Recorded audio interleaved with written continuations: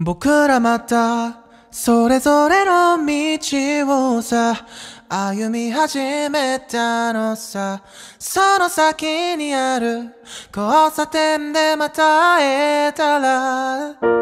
その時は二人で長い長い話を夜が明けるまで語り明かしたいね。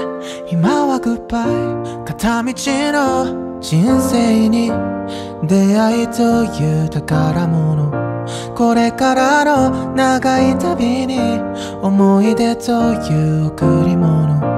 夢を握りしめ旅立つ線を眺め。